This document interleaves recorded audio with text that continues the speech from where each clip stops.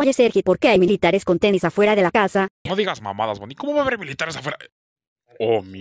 Muchachos, corran, salgan de la pizzería. Golden, ¿qué chingados hiciste? Es que le debo dinero a alguien. Golden Sol, págame, Coca. No mames, ¿cómo que le debes dinero al Heisenberg? No te preocupes, ahorita se le va a bajar. ¿Y eso vez, Golden? Te voy a cortar los huevos.